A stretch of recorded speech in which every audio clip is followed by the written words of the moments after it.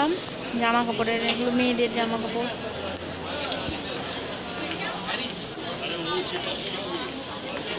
ছশো নিরানব্বই টাকা জিন্স প্যান্ট, এগুলো সব মেয়েদের।